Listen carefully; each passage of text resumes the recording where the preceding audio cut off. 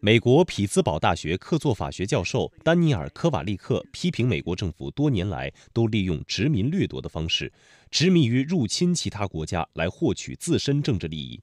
他举例说，美国入侵阿富汗二十年，留下一个普遍贫困和饥饿的烂摊子，却仍冻结阿富汗近百亿美元海外资产，一手酿成阿富汗的悲剧。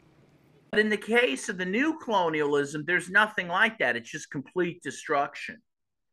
So in the case of Afghanistan, yeah, the U.S. you know invaded 20 years ago, um, left the place in a shambles, didn't even try to rebuild, um, admitted it didn't try to rebuild, and then again it stole assets as it left the country. Afghanistan is one of the sadder cases. 丹尼尔强调，美国一直以来擅长用违反国际法的军事手段介入战争，并用制裁的方式给其他国家带来灾难。在国际问题上，美国一贯奉行双重标准。